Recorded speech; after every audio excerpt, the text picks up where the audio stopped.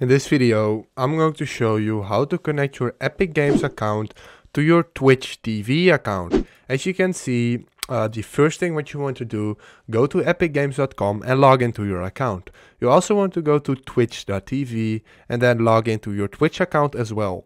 Then go back to Epic Games, hit your account at the top right corner, and now you're in the general settings tab, as you can see right here. You want to go all the way down to see connections, and then instead of apps, you want to be in accounts. Here you can see all the connected accounts. As you can see, Twitch is not connected yet.